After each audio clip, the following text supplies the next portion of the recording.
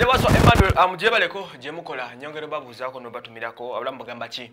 Ah, tuli ku lifestyle ako. Okay rose constructions yo bweri ku 078894 7995 rose constructions ekola ku byakuzimba ejja kuba ekutereeza bulungi nnyo nnyo nnyo nnyo nnyo wuliziganyako nabo.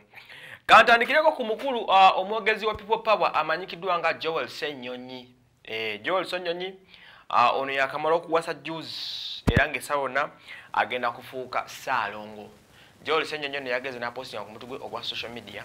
N'atugamba nti saalongo tubbi. Nga kitegeeza nti age- omukyala we yamufunisa olubuto era ng'essaawa yonna agenda kuba azaala balongo Uh, bino nebyajjidde mu kaseera nga amaze okuba nga agenze mu scan ne bakebera n'akimanya nti mubutuufu anytime now ali mu expectinga balongo.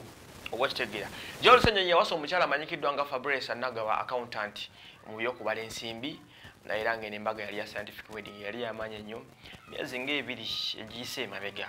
Eh, ze zimu ku mbaga ezezitambulira mu lockdown awo. Egyolusenyonyi ndaba nga yegase ku kintu kino. Ekimu ku byafaayo bye yakola byali bika yatugamba nti yatuuka okuwasa nga akyali virgin naye sikiyagaana okukkiriza. Eh, omukulu ono ye mwogezi wa people power yali akola ku ntv after 13 years. Ekyo n'akita ng'ajja mu politics baddukanya ekintu kya people power ne nap. Era ng'agenda kujja kuvuganya nakawa west.